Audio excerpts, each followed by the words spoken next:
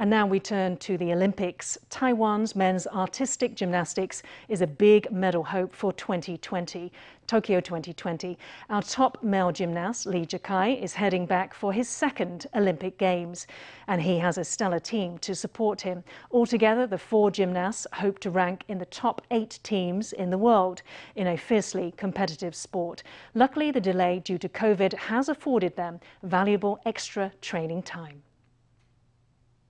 Meet Taiwan's men's artistic gymnastics team, Lee, Tang Chia-hung, Yu Chao-wei, and Hsiao Yu-jan. This is Lee's second Olympics. He's excited, he says, but also wary. Now we have the last 16 days left.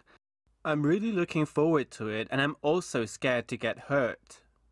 The top priority is that I hope I can fulfill my potential fully. On the individual pommel horse, I want to get into the final, and if I can do that, I want to get on the podium. There's about two weeks left. We're gradually shifting our training and our group strategy toward doing tests as mock practices for the Olympics. The team's latest updates were shared in this online press conference. Taiwan has a hope of a medal on the individual horse and on the bar this year. The whole team is aiming to get in the top eight as a collective. Lee is the mainstay of the team, but Tang, an up and coming star, is also getting lots of attention.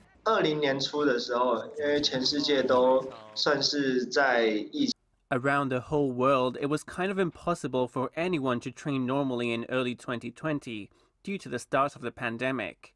Actually, it was probably a bit better in Taiwan than in other countries. We got perhaps three to six more months of normal training than other athletes. The team qualified back in 2019. COVID gave them an unexpected extra year to train, and that was a boon throughout 2020 with the virus under control and great training conditions. Now they're ready to head to Tokyo at last.